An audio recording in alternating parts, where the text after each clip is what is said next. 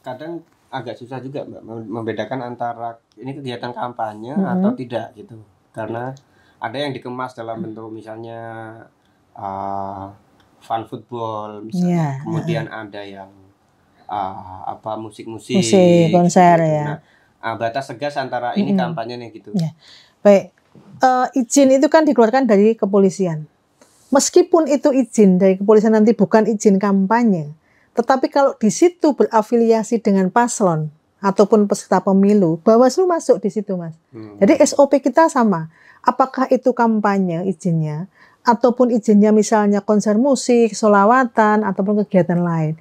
Ya tetap kita masuk sesuai SOP. Kita tetap mengawasi dengan ketat seperti itu. Rambu-rambunya juga tetap sama. Misalnya kegiatan lain yang tidak dilanggar.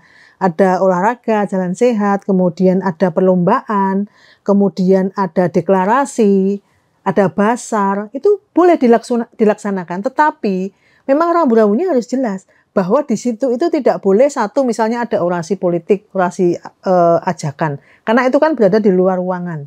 Yang dia nanti berpotensi menjadi rapat umum. Karena rapat Hmm. umum kan masih di tanggal 21 Januari sampai 10 Februari.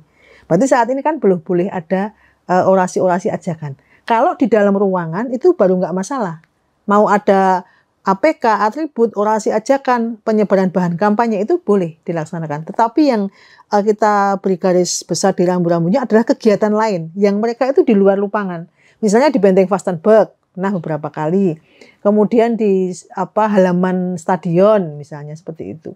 Ya boleh silahkan karena itu izinnya izin kampanye juga. Tetapi yang tidak dibolehkan saat itu adalah misalnya ada penyebaran bahan kampanye. Hmm. Kemudian ada orasi ajakan untuk memilih di tanggal 14 Februari nanti. Seperti itu Mas. Hmm. Rambu-rambu yang kita eh, berikan kepada pelaksana atau kepada panitia biasanya seperti itu. Tapi kalau hadirnya salah satu paslon itu bisa dianggap kampanye nggak atau gimana? Tidak masalah sepanjang dia tidak ada orasi untuk mengajak. Iya. Nggak ada masalah. Iya, nggak masalah.